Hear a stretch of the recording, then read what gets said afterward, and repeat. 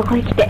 なぜお父さんが帰れないかよく分かったんですものお父さんはおゆきさんがなくちゃダメなのね。ねえお父さん。バカ。そんなこと聞くやつがあるもんか。でもそうよ。お父さんとおゆきさんはまるで一人みたいなものよ。うちの母さんにはそれができないのね。うん。お前はどうだね私はうまくやってくわおおなかなか自信があるようだね。千一さんは月給は55円だけどお父さんみたいに山気のないとこがいいわ。はっきりしたことを言うね。虹を挟んで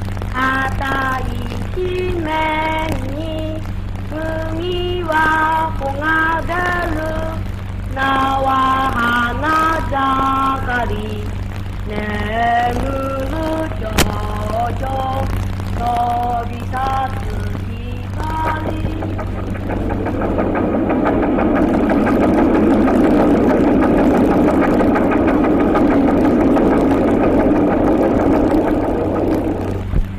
東京へ帰ってくる汽車の中でなのよ。どこの停車場でだったかしら。私の知らない間にねお父さんミカにはチョコレートを買ってきてくれたの。私本当言えばそれまでお父さんにそれほど愛着は感じてなかったのよ。でもその時そんなわずかなことで急にお父さんをいつまでもそばに置きたいほど懐かしく感じたの。おいきさんの子供たちを憎く思ったほどだわ。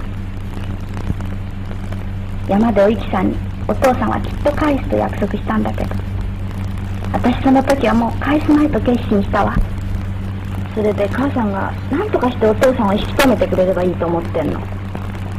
お父さんが帰ってきた次の日だわ。私が誘ってやっと3人で遊びに出たの。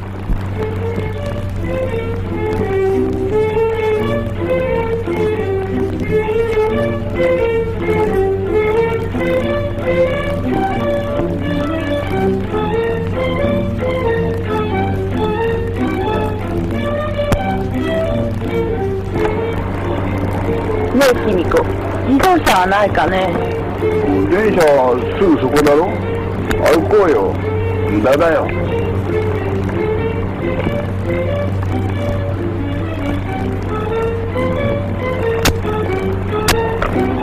えお父さん円卓安いのよ。私値切るのないんだからちょっと待ってて。ね？君子あんまりケチなことはお許しなさい。大丈夫よ。ねえお父さん私映画で覚えたんだけどこちらあんのよ。ほうほう。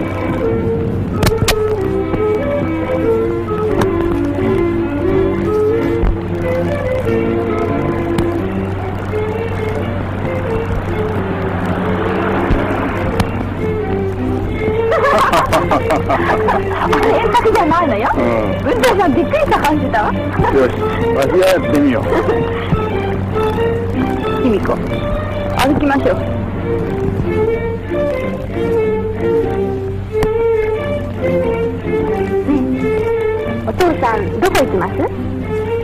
そうだな。お父さんはどっかで舞茸が飲みたいな。お酒は家へ帰ってからでも召し上がれるんですから何かもっと意義のあることになさったら。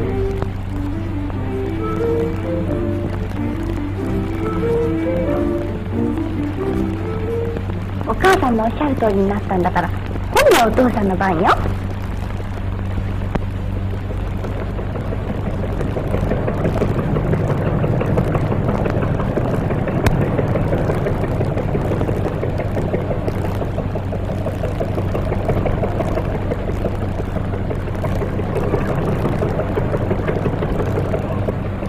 まだ召し上がるんですか？うん。じゃあもうやめようかな。もう少しぐらいいいわよ。その代わり今度は私の言うこと聞いてね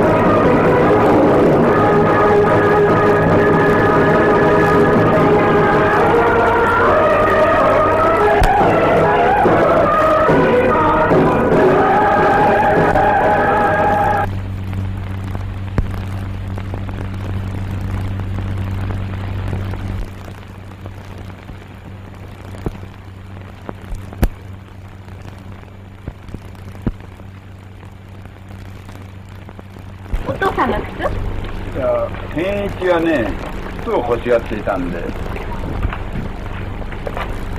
ダメなのね。お父さんの気持ちはすっかり田舎にあるんだし母さんと来たら相変わらず自分のことしか考えてないような態度なんでしょ？やっぱりそんなかね。お父さんだって母さんの性質はよく知ってんのよ。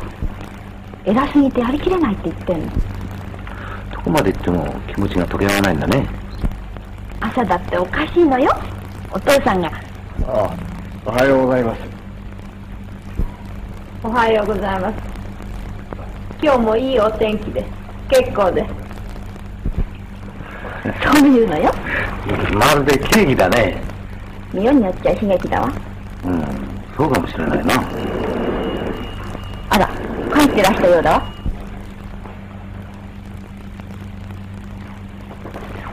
おかえりなさいおかえりなさい。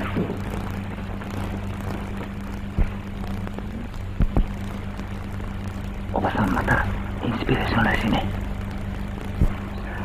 あお父さんお控えになったら？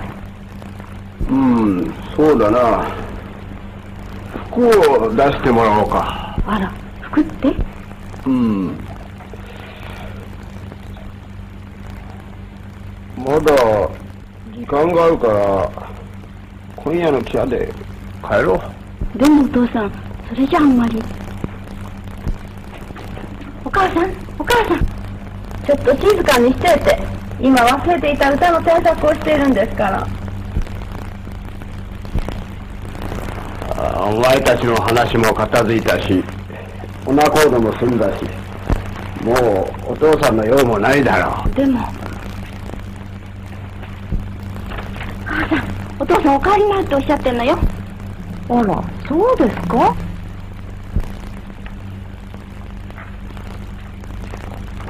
お帰りになるんですか？すまないが、許してくれ。そうですか。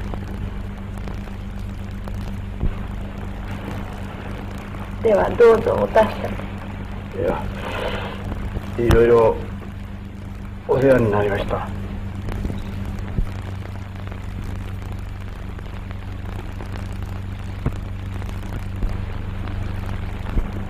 私ちょっとやりかけの仕事がございますからこれで失礼いたします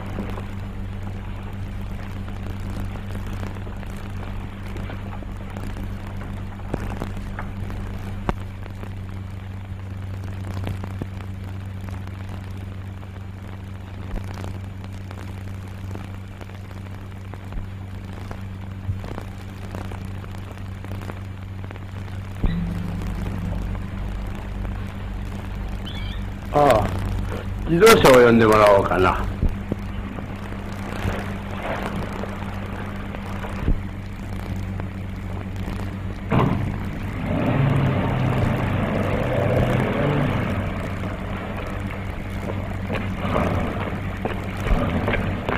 お、こんばんは。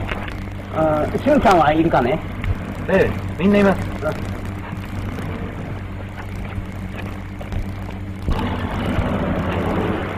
君、エンタスかね。ええ、そうです。あ、ちょうどいいや。ちょっとこの待って作んないか？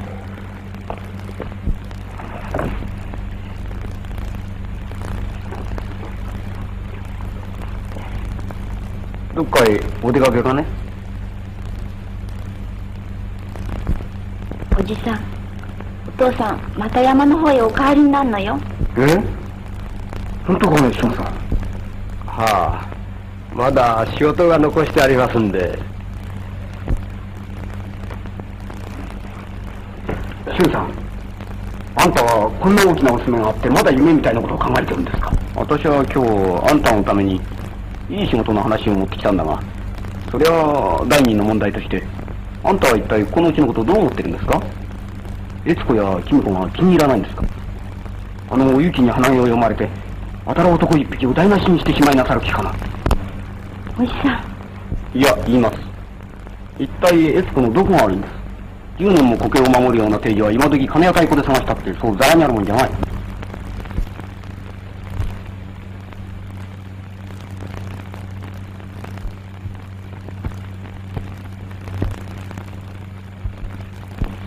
今までだってそうです。まるで頼りもせずに、ほったらかして、まあ、これが貧乏して帰る良しもないというならともかく、帰ろうとすればいつだって帰れる身分じゃありませんか。おじさん？おじさんは今お父さんの旅費のことをおっしゃいましたわね卑弥呼。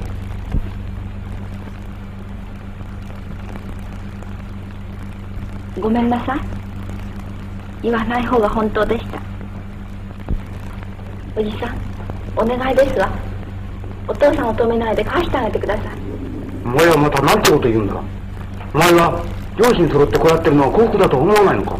私のためだけを考えればそうかもしれませんけどお父さんはやっぱり帰るのが本当だと思うんですバカバカしい。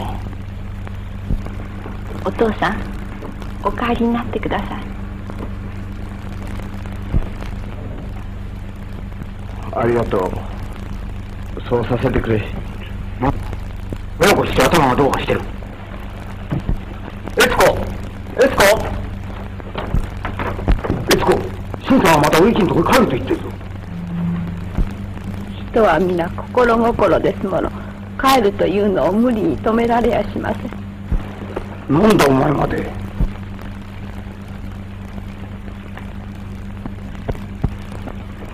お母さんお母さんあいいよいいよ。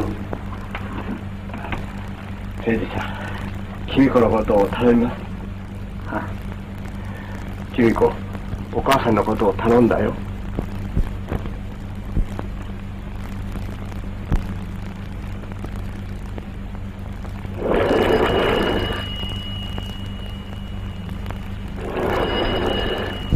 お母さんお母さんったら。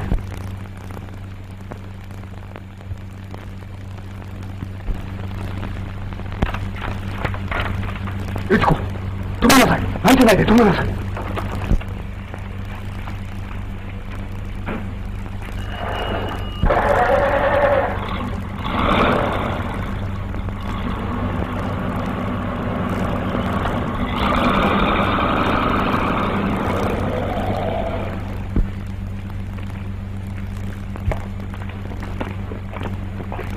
なんだ自動車があったのか？あれ、おじさんが乗ってきた自動車でしょ？